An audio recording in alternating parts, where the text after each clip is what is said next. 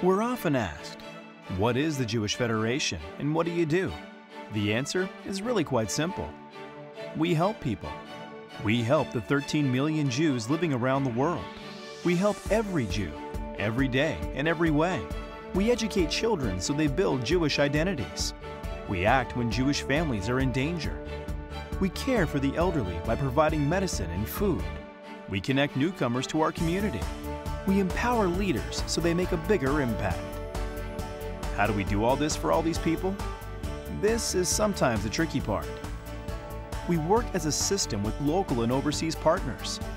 Instead of focusing on one need or cause, we look at the community as a whole. This way, one donation supports the issues you're aware of as well as those that are less obvious but no less important.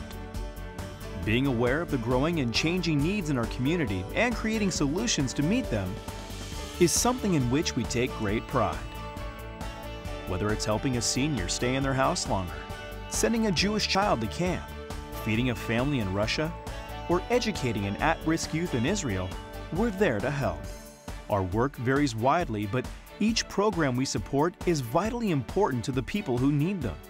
This is all possible because of generous people in our community who make contributions to the Federation annually.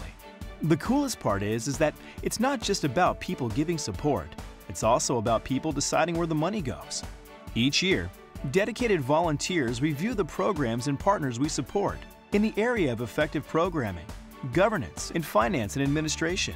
Thanks to this dedication, we know the community's dollars are hard at work each and every day. So, that's it. That's what we do. We help people. We hope you'll join us and get involved, make a donation, or simply learn more.